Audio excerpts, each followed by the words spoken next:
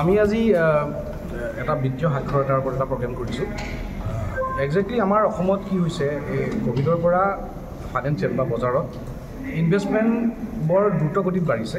বেয়া কথা নহয় কিন্তু কিছুমান কথা এনেকুৱা ধৰণৰ হয় যে বহুতে আমাৰ অজলা মানে মানুহখিনি কিছুমান ধৰণৰ এই মানে আনঅথৰাইজ কিছুমান বস্তু দি মানুহক ধৰি লওক গাৰেণ্টেড ৰিটাৰ্ণ বা ৰেগুলাৰলি কিবা পইচা দি থাকিম বুলি সেনেকুৱা ধৰণৰ বিভিন্ন ধৰণৰ কাম কৰা বা ধৰণৰ কৰা দেখা গৈছে। কিন্তু নিৰ্মলা সীতাৰমণে এটা কথা কৈছিলে যে ফিনান্সিয়েল লিটাৰেচি বা বৃত্তি সাক্ষৰতা লাষ্ট ইয়েৰ বাজেটতে কৈছিলে যে বহুত দৰকাৰী এখন দেশৰ ডেভেলপমেণ্টৰ কাৰণে। আৰু তেওঁ লাষ্ট বাজেটত কৈছিলে আৰু তেওঁৰ কাৰণে তেওঁ ডিজিটেল লাইব্ৰেৰী খুলিছে বিভিন্ন স্কুল কলেজতো কৈছিলে যে ফিনান্সিয়েল লিটাৰেচি বৰ ইম্পৰ্টেণ্ট বস্তু। ফিনান্সিয়েল মানে বিত্তীয় সাক্ষৰতা এইটো নহয় যে অকল ষ্টক মাৰ্কেট ইয়াত বিভিন্ন দিশো কভাৰ কৰা যায়। কিন্তু এই দিশটোৰ মাজত বিভিন্ন মাজে মাজে কিছুমান আনএকচেপ্টেড বুলি ক'ব পাৰে কিছুমান কাম হৈ থাকে। আৰু সেই ফিগাৰবিলাক মই ডাইৰেক্ট ইয়াত ক'বলৈ বেয়া লাগিছে কিন্তু বহুত ৰাইজে জানে। আৰু মই নিজেও দেখা পাইছোঁ এনেকুৱা ধৰণৰ কাৰণে। সেইকাৰণে আমাৰ লগত বি বি ইনভেষ্টমেণ্ট যোন আদিত্য বৰা আৰু আমাৰ ডিজিটেল অসমীয়াৰ বেদান্ত বৰা আৰু আমাৰ টীম যোনটো হয় টীম বি এম আমাৰ মই যে নিজে চেভি ৰেজিষ্টাৰ ৰিচাৰ্চ আৰ্টিষ্ট তো আমি এটা যুটীয়া প্ৰচেষ্টা চলাইছোঁ যে মানুহখিনি কেনেকৈ শিকাব পাৰি বস্তুখিনি। কাৰণ বিত্তীয় সাক্ষৰতা বহুত দৰকাৰী আৰু মানুহ যেন বিপথে পৰিচালিত নহওক কাৰণ অসমত এটা ইমান ডাঙৰ স্কেম যদি হৈ যায় কাৰণ অলৰেডি আমি মহাৰাষ্ট্ৰত দেখিছোঁ অলৰেডি বিভিন্ন ৰাজ্যত কৰিছোঁ কাম। তো মহাৰাষ্ট্ৰতো দেখিছোঁ কিছুমান এজন মানুহে এহেজাৰ কোটি টকালৈকে মানুহৰ পৰা কালেকশ্যন কৰিছে নিজৰ নামত যোনটো এলাউ নহয়।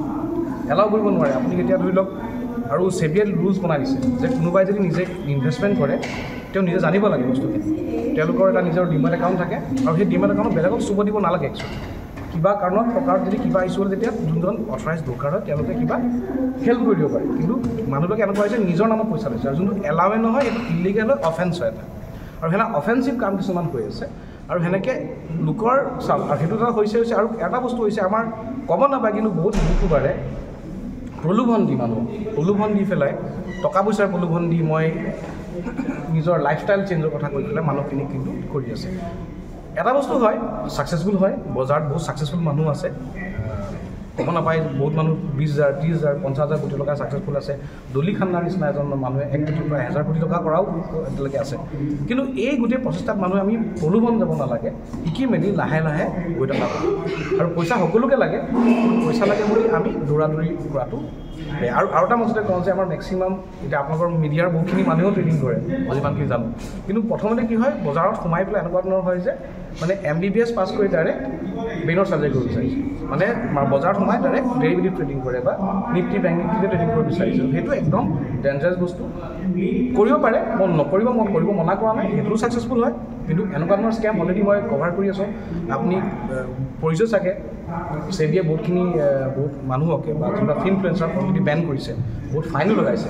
তো সেনেকুৱা ধৰণৰ যেন নহওক অসমত এতিয়া ধৰি লওক এতিয়া অসমত লাহে লাহে যুৱ প্ৰজন্মই ইয়াৰ দ্বাৰা কেনেকৈ নিজক এটা ছেকেণ্ডেৰী চ'ৰ্চ অফ ইনকাম কৰিব পাৰে? কাৰণ দৰকাৰ চাওক এটা মানুহৰ চেলাৰী আজিকালি চাকৰি পাবলৈও যেতিয়া দিগদাৰ গভৰ্ণমেণ্টে ভাল কাম কৰি আছে চাকৰি পটককৈ পাবলৈও দিগদাৰ। কাৰণ অসমত ইমান ডাঙৰ প্ৰাইভেট ছেক্টৰ নাই লাহে লাহে হৈছে। তো ই এটা ছেকেণ্ডেৰী চ'ৰ্চ অফ ইনকাম যদি হৈ পেলাই মানুহক যদি এটা সকাহ দিব পাৰে সকলোকে আপোনাক মোক সকলোকে যদি সকাহ এটা দিব পাৰে তেতিয়া ভাল কথা। কিন্তু তাৰ মাজত এই বস্তু যদি নহওক আৰু সেই অবজেক্টিভে আমি এই প্ৰগ্ৰেমটো অনুষ্ঠান কৰিছোঁ।